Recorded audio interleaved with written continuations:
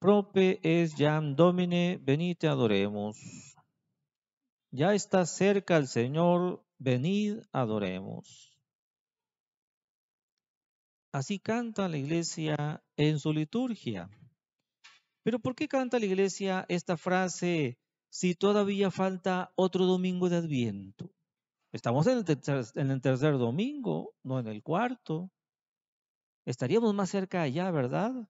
Pero ya desde ahorita, ya desde el tercer domingo de Adviento, la iglesia quiere que cantemos con ella esta frase de la liturgia.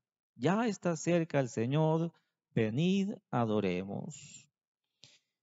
Y es que quiere, eh, está en esa ansia, en esa, espera ansiosa. Ya quiere adorar al niño Jesús. Ya quiere verlo nacido. Ya quiere que lo mesamos en la cuna y lo tengamos en nuestros brazos. ¿Y qué vamos a hacer para todo esto? Prepararnos.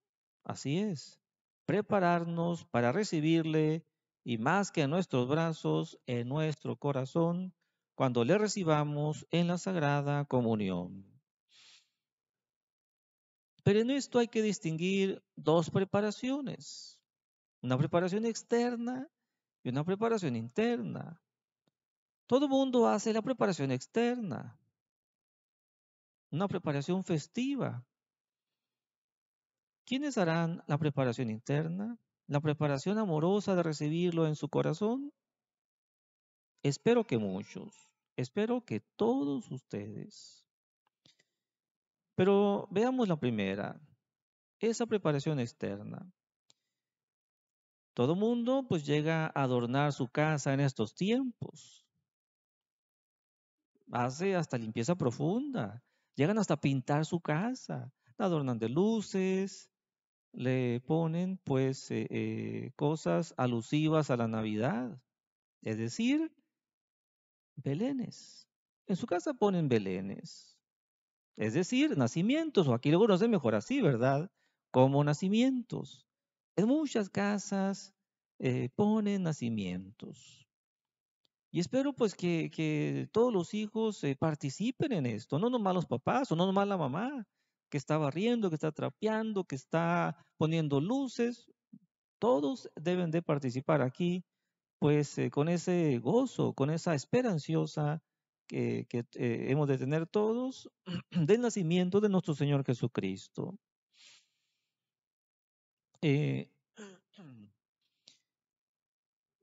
Además de, adornar así nuestras casas, pues también muchas personas ensayan cantos navideños en el catecismo, en sus mismas casas.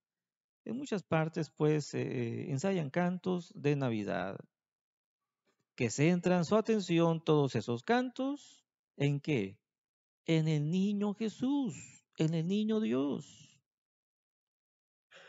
¿Cuántas personas tienen en su mente y en su corazón lo que les pone delante la mercadotecnia. Y por eso no está como en un trono de su corazón o de su casa el santo niño Dios, sino que quién está en ese trono de su corazón y de su casa. ¿A quién ponen delante en la Navidad, eh, en la mercadotecnia? A Santo Claus. A Santo Claus nada más. Hay que destronar al Santo Claus que la mercadotecnia ha puesto enfrente de nosotros y lo hemos adoptado, quitando pues de nuestra mente, de nuestro corazón y de nuestras casas, pues al Santo Niño Dios. Eh, pasó que una niña, pues en su casa, pues no le mencionaban a Santo Claus. El 25 de diciembre eh, nace Niño Dios. Hay que prepararnos. ¿Y qué quieres que te traiga el Niño Dios? Y así todo estaba centrado en el Santo Niño Jesús. Pues en la escuela de esta niña que estaba en kinder, estaba preguntando a la maestra a los alumnos qué le había traído de, de Navidad el Santo Claus y un niño decía una cosa, otro decía otra cosa. Y cuando llegó ella dijo, a mí nada, a mí no me trajo nada. Y después venían unos reclamos, ¿no? O sea que no te trajo nada el Santo Claus. No, a mí me trajo el niño Dios, me trajo este juguete. Pero el Santo Claus no me trajo nada. Entonces, vamos a destronar pues lo que la mercadotecnia ha puesto en la mente de los papás y ellos se han encargado de poner en la mente de sus niños y de sus aspiraciones de Navidad, no al Santo Niño Dios, sino al Santo Claus, que ha arrancado de una verdad que pues fue un santo San Nicolás, pero tanto lo han cambiado que ya ha desaparecido el verdadero San Nicolás y ha aparecido pues lo que ellos han querido poner como un personaje que ha desplazado eh, de nuestra mente y de nuestro corazón eh, al Santo Niño Jesús. Celebremos pues eh, en este tiempo que se acerca, tengamos esa verdadera esperanciosa de ver nacer nuestros nacimientos materiales de nuestra casa, pero también en ese nacimiento que hemos de preparar en nuestro corazón al Santo Niño Dios. Por eso es que sería vano, sería vano el tener solamente una preparación externa cuando no se da la preparación interna. Así que eh, tengamos todos esta preparación interna. ¿Cómo se va a dar? Pues hay varias cosas que podemos hacer. Por ejemplo, hacer la novena de Navidad. Hoy, 11 de diciembre, se acaba la novena de la Virgen de Guadalupe. Y cinco días después, el 16 de diciembre, empieza otra novena. Que hasta invitamos a los niños para que aquí la recen con los papás, con sus hermanos que vengan, para rezarla aquí en la iglesia y hasta quebramos una piñata y los dulces y pedimos posada y todo eso.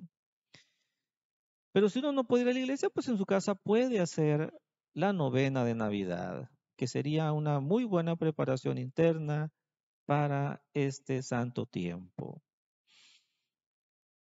Como decía, pues desde el primer, eh, desde el segundo domingo, domingo de Adviento, preparad el camino del Señor, tumbando los montes de la soberbia, enderezando los caminos de nuestros hábitos, de nuestras costumbres. Así que una muy buena preparación interna, además de hacer la novena de Navidad, va a ser recibir los sacramentos. Que si para hacer eh, esa buena comunión necesitamos hacer antes una buena confesión, pues hay que prepararnos. Preparémonos pues para este santo tiempo y así como preparamos todo lo, todo lo que hacemos en nuestras casas, pues también preparemos esos belenes, esos nacimientos en nuestro corazón para que se recueste tiernamente el Santo Niño en nuestras almas. Así sea. En nombre del Padre y del Hijo y del Espíritu Santo. Amén.